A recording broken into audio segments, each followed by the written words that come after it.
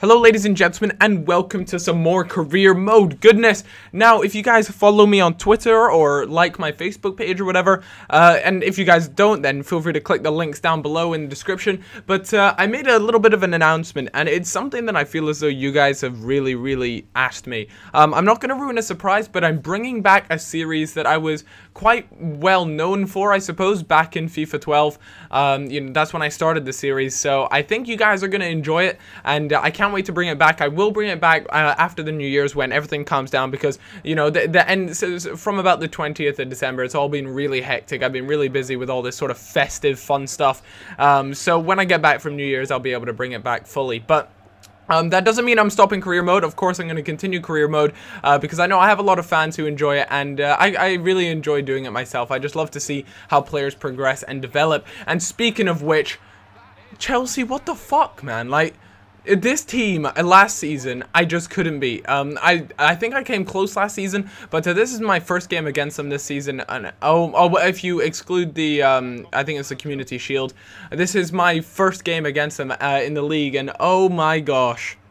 What an absolute pain in the ass it is to play them. They are so good. Eden Hazard, Falcao, like they've just got so many good players up front and uh, their attacking is just crazy. Um, and I know I have a very strong attacking team as well, but it's just something about their entire team I struggle so hard against. And in all honesty, I feel as though it's their centre backs that just make it such a challenge for me to uh, get past. But Muriel does a great job of turning the defender there and uh, definitely a defensive uh, mistake on their part. But um, besides that, I found it so tough to break them down. And uh, all of them have great ball control and it was just just, I, I don't know. I think Chelsea are going to win the title this uh, season. Um, it's definitely my ambition to win the title, but they're just so strong. And uh, throughout playing this game, I just felt I just felt so weak and useless in all honesty. Again, Falcao completely rips open my defense there with uh, some nice ball control and puts into the back of the net to make it 3-1.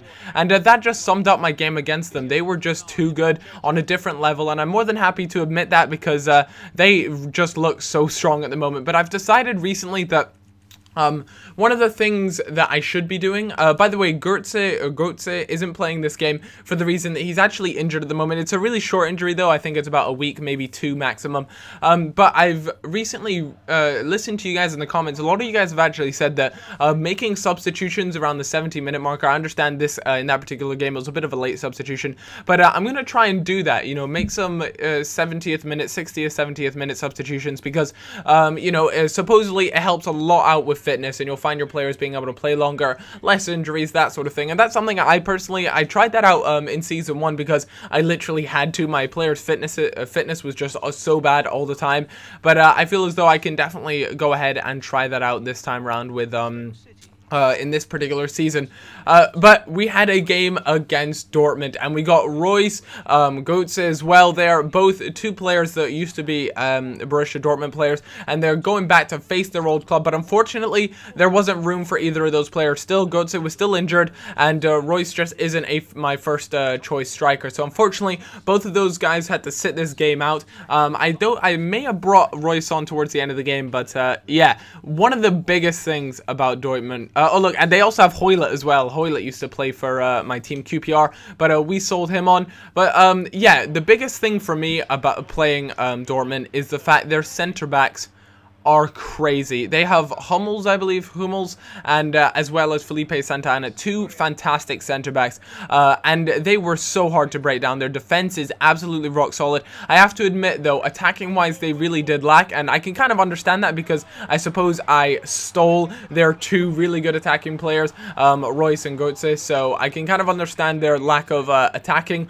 but at the same time, their defense was just magnificent. It really was. So all credit to them for that, and uh, unfortunately for me me, that meant I could only manage to put one goal past them. But hey, um, you know, I was top of the table. I had six points. Dortmund had four points. And now at the end of this, I'm sitting pretty at the top of the table with nine points. And uh, I've just got a phone call, so BRB, peeps.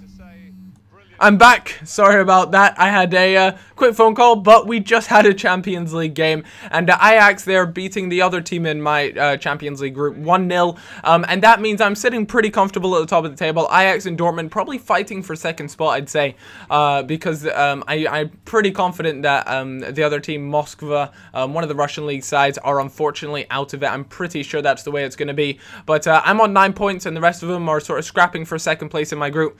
But I cannot wait wait for this um, for the rest of the Champions League. It's something I've really wanted to do well in, and uh, it'd be fantastic. Could you imagine if we win the Champions League the first time round with QPR? Um, I don't know if it's going to be possible. There are going to be some really incredible sides coming up uh, that I'm going to have, but uh, we can always hope, I suppose. But recently, the fixtures have just been an absolute bitch. If we take a look at, like, uh, just this episode, really. So I've got Arsenal now, but uh, before that, I had Chelsea, then Dortmund, now Arsenal. I mean, that is a tough, tough set of uh, games. And not to mention, you know, they're pretty close together. Although the fitness of my team's holding up pretty well, uh, you know, that's not too big of an issue. But I know the later it goes on in the season, the more that's going to become an issue. But uh, at the moment, fitness-wise is all right, but still, you know, not everyone's perfect. I'm finding that Sahin is actually you know, really struggling with playing the games in in and out. But fortunately, we have Pogba, who's actually still injured at the moment, but uh, Adrian, who just makes for an absolutely wonderful replacement.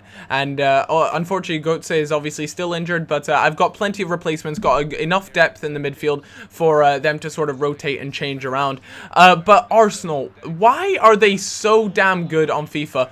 But here is an exact reason why I'm really hesitant about Ter Stegen. There, I'm kind of putting the blame on him for that goal. I understand there was a bit of FIFA BS, but I, you know, Ter Stegen should not be letting those in. It, that, those sort of goals really didn't happen to me as frequently before I brought Ter Stegen in, and uh, you know, I'm a little bit disappointed with that. But uh, you know, for some reason, Arsenal are just play. They try, they play like Barcelona every game on FIFA, and uh, although that's kind of like real life, uh, they try to play a bit like Barcelona. Um, they they don't always succeed in it in real life, but uh, for some reason on here, it's just always like that, you know? It is so, so annoying.